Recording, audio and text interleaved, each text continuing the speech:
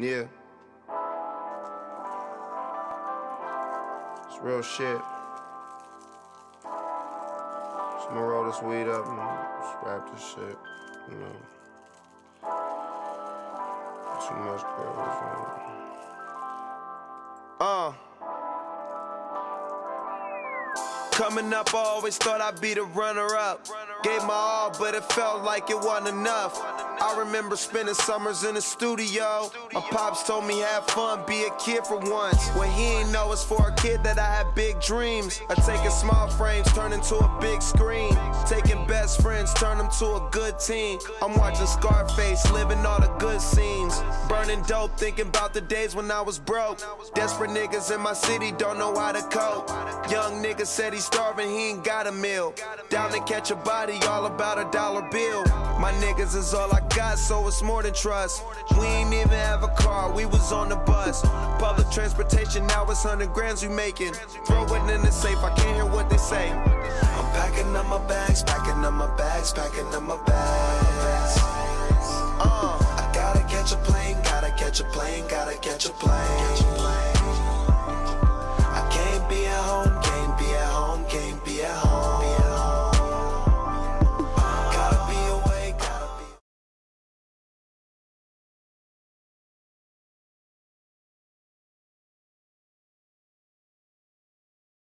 At what age did Evan really take basketball seriously? Um, four, I think. He was about four. and His dad bought him basketball, and he just. I used to have to almost really have to spank him and tell him to come in the house because he would have this little little Tikes basketball goal in the garage, and it would, he would be out in the garage all night just shooting basketball, talking about he was Michael Jordan. So it was like about four when he was really serious. Like he just thought he was Michael Jordan. You know. When I ride by, when I ride by, I want you to see what I see. Yeah, yeah, yeah, yeah, yeah, yeah, yeah.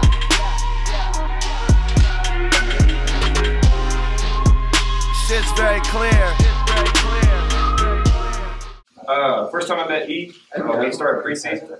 Um, he was uh, a hard worker. Every time we went in the weight room, he was all, all serious. Um, he wanted to motivate the team, always lifted hard, always ran hard. Uh, just left a great impression on me. It made me really want to strive to make this team better. Hell yeah. Uh, great ball player, too. Love playing with him alone. Cause I got the vision, counting my Benjis, putting it all in the bank, but I don't really mind if I spend it. Can't take it all across the line when you finish. When you stay all on your grind, you can get it. When we be fucking, I'm climbing up in it. She fuck with me because I got the vision.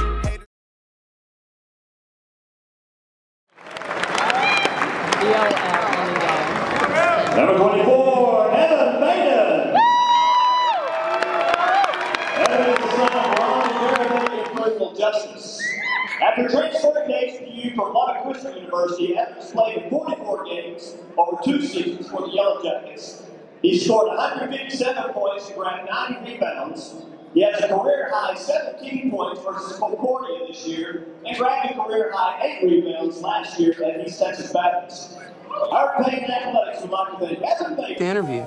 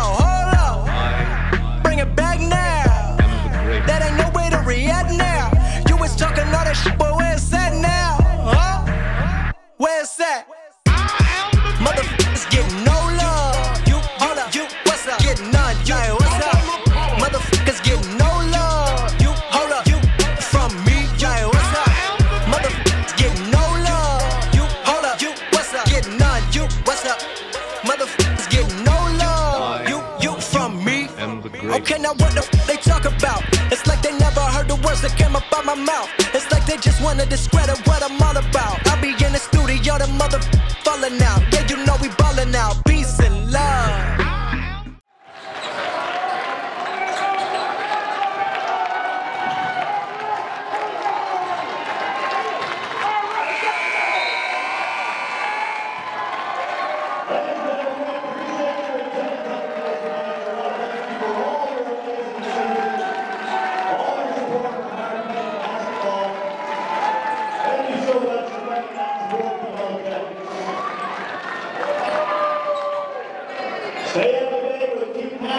postseason experiences at HPUsports.com.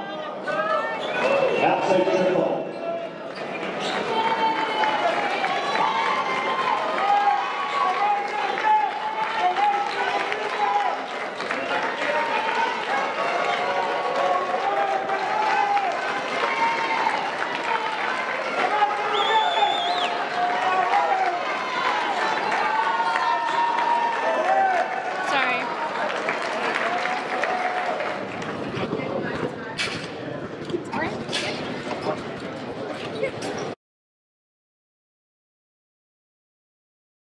What is Evan's relation to Shaq? Oh well, Shaq is his godfather. He told you that? Mm-hmm. Um, that's his godfather. Um, so that's his relationship to him. He's been Shaq basically became his godfather officially um, in um, at five when he was five years old. He, he christened him. What changes have you seen in Evan on over the years, on and off the court?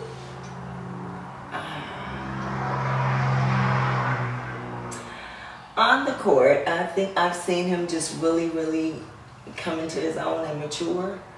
Um, he and taking basketball really, really seriously.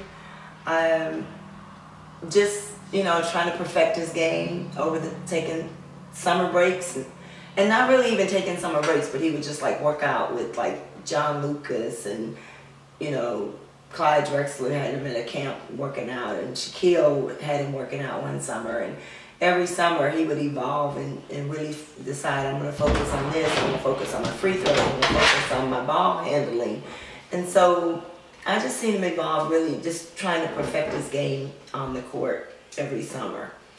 And trying to get stronger instead of we used to call him skinny. He used to try to get stronger and bigger and buff up. Off the court, just really maturing. Um, to me, he didn't take his classes serious. He was more focused and serious about basketball than he was his classes. And then as time went on, I started having conversations with him, and it was more mature conversations. So I'm like, okay, he's really maturing, you know, and where I can hold a, a real conversation with him instead of just like, you know, mother son. It was more adult adult. So I'm just that's I'm really seeing him evolve both ways.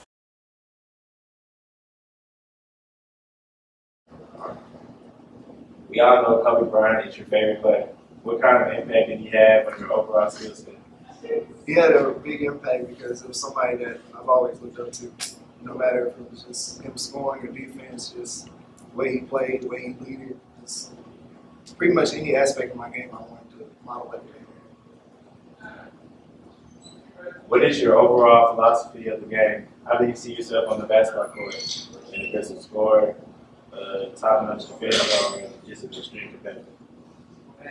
I'll probably say all three, but it's in a streaky way. So, I mean, some days I can be a good defender, some days I can be an aggressive ass scorer. So,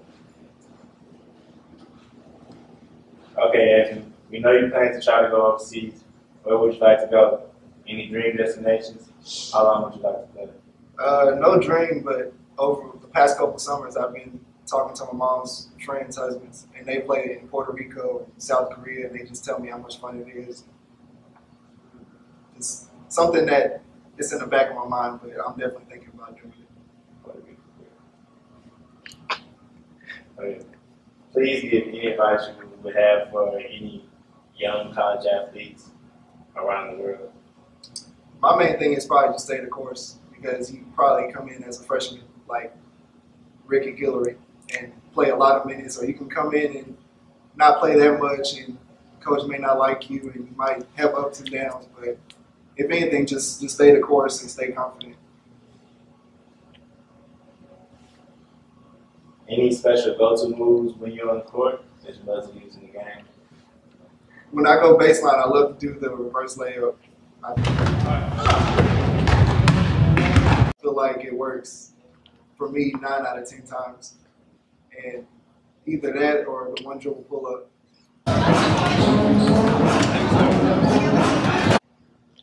I heard you had a strong up and under that you like to use on the court. What about that right there? The bait, Yeah, in other the words, yeah, that's that's my favorite all-time move. Just if I'm going baseline and I see the big man's coming, I'll make a move in the air and see if I can get to the other side. Use the rim for protection. How was your transition from college to college? Was it tough when you left Lubbock Christian? Was it like mentally or physically just just challenging? Uh, yeah, it was tough because I, you know, coming from LCU, I was pretty much comfortable there and met a lot of people, and I really didn't want to leave. But at the same time, I kind of knew what I wanted to accomplish in my college career. So it was tough mentally, but physically, I wouldn't say it wasn't that bad. Okay. So what is your greatest game memory from high school? From high school, it was either scoring 36 or one in one uh, in one quarter I had 15. What about when you were at LCU? LCU, uh, I'd have to say when we were down 20 or so in the second half, and I only had four points in the first, I came back and had 17 in the second half. What about what about Howard University? Shit. Uh, scoring 17 against Concordia, and then the back of the bus crew, Rick, Donnie, Willie, Rip. I mean, just all those memories. I just something I always have with.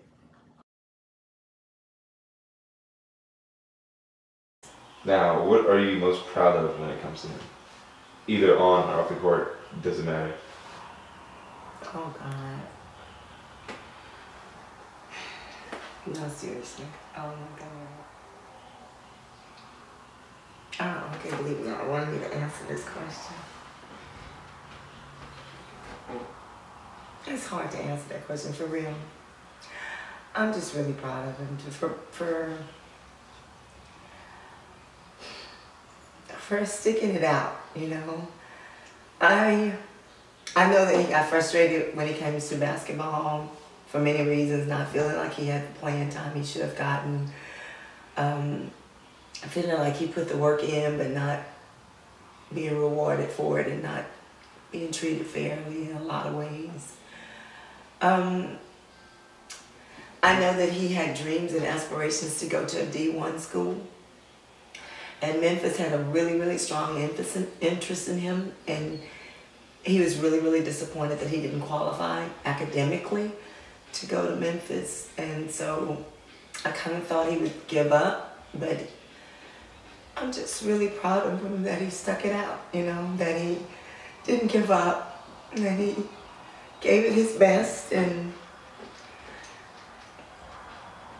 I don't know, I'm just really, really, really proud of him that he was just patient and he never quit.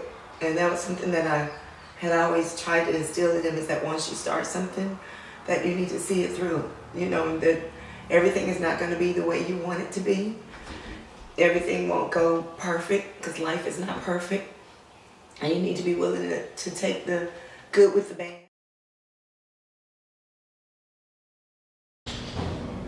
Do you see yourself as a mama's boy?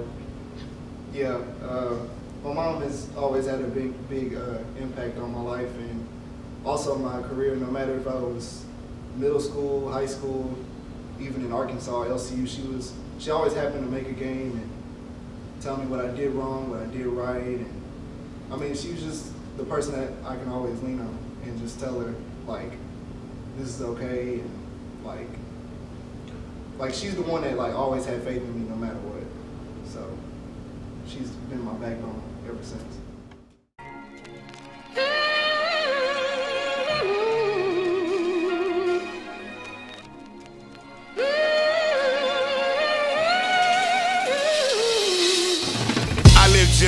Love for the city, so I get by. Money never changed how I felt when I risked my life for a dollar, homie. Nah, I don't think so. Greed breeds jealous niggas out here wanting info. Catch a nigga slipping, put a bullet in his tempo. Oh, me, it's the same rules. Money talk simple. My kinfolk. Um, I just always want him to, to follow his dream. And there was something that I used to tell him all the time is that never let anyone make you feel like you can't do something. If you feel it in your heart that you can do whatever you want to do and protect your dream. So I just want to tell him to protect his dream. If you still, in your heart of hearts, still want to play, if this is not it for you, then go for it. You know, you have resources and things that you can do to, to try to continue to, to play ball if you want to continue to play ball. Um, I just want him to protect his dream and I just want him to know that the choices that he make now, especially coming up on graduation from college, these are very, very influential choices. The choices that you make now are going to affect how your life, what your life is going to be like, where you're going to go in life. So I just want him to, to make wise choices, make smart choices, um, think about your choices and how it affects other people, and just live your life and be happy. And I could never be more proud of you. He has been the best thing, the best gift that God has ever gave me. And I'm so proud of him. All right.